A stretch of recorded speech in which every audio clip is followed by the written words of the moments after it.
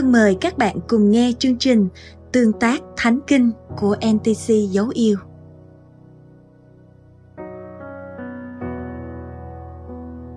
Châm ngôn chương 12 Ai yêu sự sửa phạt là yêu tri thức, ai ghét sự quở trách là kẻ ngu dại. Người lành nhận được ân phúc từ Đức Giê-hô-va, nhưng kẻ âm mưu điều ác bị Ngài kết tội. Loài người không thể nhờ gian ác mà được đứng vững, nhưng cội rễ của người công chính không bị lay chuyển. Người vợ đức hạnh là máu miệng cho chồng, còn vợ làm xấu hổ khiến chồng như một nét trong xương. Tư tưởng của người công chính là đúng đắn, âm mưu của kẻ ác đều là lừa gạt. Lời kẻ ác rình rập làm đổ máu, nhưng miệng người ngay thẳng giải cứu người kẻ ác bị đánh đổ, chúng không còn nữa. Nhưng nhà người công chính vẫn đứng vững. Một người được khen ngợi tùy theo sự khôn ngoan mình, còn kẻ có lòng gian tà sẽ bị coi khinh. Thà là một người tầm thường mà có đầy tớ, còn hơn kẻ tự tôn mà lại thiếu ăn. Người công chính chăm lo cho sự sống của bầy gia súc mình, nhưng lòng thương xót của kẻ ác là sự hung bạo. Ai cày đất mình sẽ được lương thực dư dật. Còn ai đi theo kẻ lười biếng là kẻ thiếu hiểu biết. Kẻ ác tham muốn của phi nghĩa, nhưng cội rễ của người công chính sinh bồng trái. Kẻ ác mắc bẫy vì những tội lỗi của đôi môi, còn người công chính thoát khỏi hoạn nạn. Một người sẽ được đầy tràn phước hạnh nhờ kết quả của môi miệng mình và mỗi người sẽ được báo trả tùy theo việc tay mình đã làm. Đường lối của kẻ ngu dại vốn ngay thẳng theo mắt nó, nhưng người khôn ngoan lắng nghe lời khuyên dạy. Kẻ ngu dại bộc lộ ngay lòng giận dữ, nhưng người khôn ngoan khéo bỏ qua điều làm sỉ nhục mình. Nhân chứng thật nói ra điều công chính, còn kẻ chứng gian chỉ nói chuyện lọc lừa lời nói bừa bãi khác nào nhát gươm đâm. Nhưng lưỡi người khôn ngoan đem lại sự chữa lành. Môi chân thật bền vững đời đời, còn lưỡi dối trá chỉ tồn tại trong chốc lát. Lòng dạ kẻ mưu ác chứa đầy sự lừa đảo, nhưng tấm lòng người hòa giải tràn ngập niềm vui. Chẳng có sự tổn hại nào xảy đến cho người công chính, nhưng tai họa phủ đầy trên kẻ gian ác môi dối trá là điều ghê tởm đối với đức giê-hô-va. Còn người hành động chân thật, làm vui lòng ngài. Người khôn ngoan khéo chẳng khoe khoang tri thức, lòng kẻ ngu dại bộc lộ sự điên rồ. Tay siêng năng sẽ nắm quyền cai trị, còn tay lười biếng thì phải phục dịch.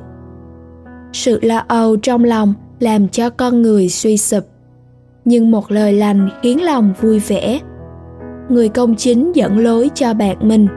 Còn đường kẻ ác khiến họ lạc lầm. Kẻ lười biếng không nướng thịt đã săn được, nhưng người siêng năng được tài sản quý báu. Trên đường công chính có sự sống, bước đi trên lối nó không có sự chết.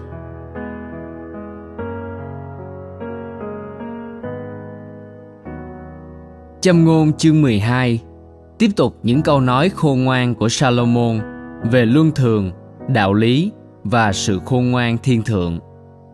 Trong chương này, ông tiếp tục đối chiếu giữa người công bình và kẻ gian ác, cho thấy đời sống của người công chính tốt đẹp hơn nhiều so với đời sống của kẻ gian ác. Câu 1 đến câu 11 so sánh các lối sống khác nhau của những người kính sợ Đức Chúa Trời với đời sống của những kẻ chọn lựa sự ngu dại và tội lỗi.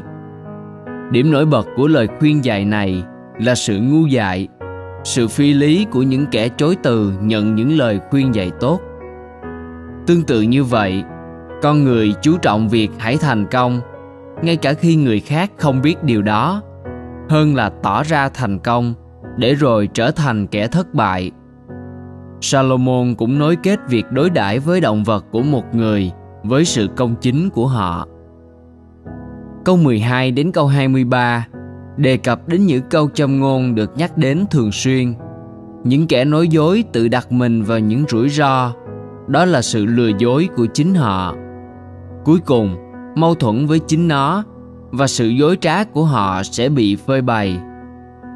Những người kiên nhẫn cầm giữ lưỡi mình, chờ đợi đến lượt mình nói và nói những lời hữu dụng và giúp ích cho người nghe là người khôn ngoan ngược lại là những người không thể kiểm soát lời nói của mình làm tổn thương người khác đồng nghĩa với việc họ làm tổn hại chính danh tiếng của mình cũng vậy Đức Chúa Trời gớm ghiếc những kẻ cố chấp nói dối.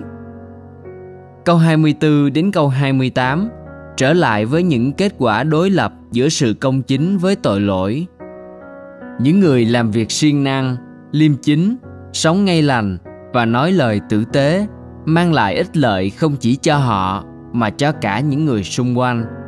Còn những kẻ biến nhát dối trá và nổi loạn chống lại đức chúa trời chỉ dẫn họ đến con đường của tai họa. Qua châm ngôn chương 12 Đức Chúa Trời khích lệ chúng ta sống công chính và khôn ngoan và đừng như kẻ gian ác. Đặc biệt, chúng ta cần phải kiên nhẫn cầm giữ lưỡi mình và sử dụng nó làm ích lợi cho Chúa và cho người khác. Thay vì rủa xả phỉ báng, đàm tiếu nói dối chửi mắng gây tổn thương và xúc phạm. Khi cần nói hãy nói những lời đem đến sự gây dựng khích lệ và chữa lành.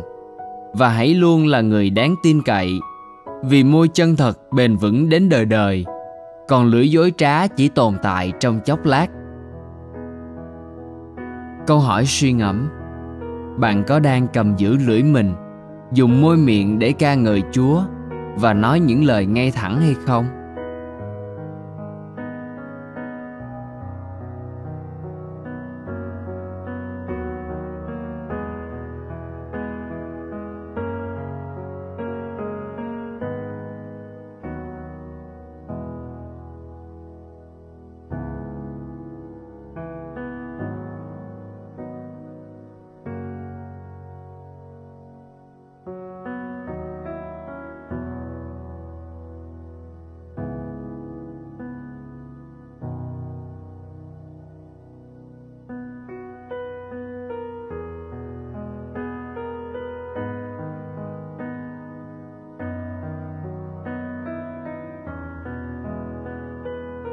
Chúng ta cùng cầu nguyện.